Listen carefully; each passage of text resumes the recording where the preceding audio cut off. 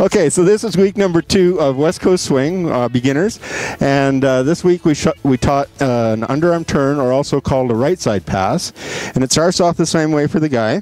We're going back on one, and this time though we're crossing to the left hand side, so the ladies can pass on our right on two, and that's when your hand comes up. Three and four, we're back in the slot five, and six. Now, there's a few different ways that this turn can be done for the ladies. For the most part, we taught the ladies to turn after the four, but it can be done on the ands in between.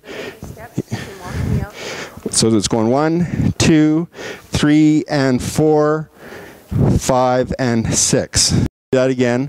One, two, three, and four, five, and six. And on that, we talk more this week about settling so that you've got that settle in there, like Dale was talking about last week.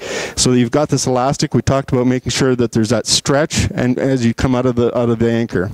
So the next the turn we showed you was a sugar tuck, and the sugar tuck was one, two. On three, there's there's solid compression here. Three and four, the ladies turn and make a nice ready and one, two, three and four, five and six. So then what ends up happening is your hand is on the up on the top side of her hand. So you want to do an underarm turn after that. One, two, three, and four, five, and six, and settle so that your hand's back back in the right spot. And that was week number two of West Coast Swing. Thanks.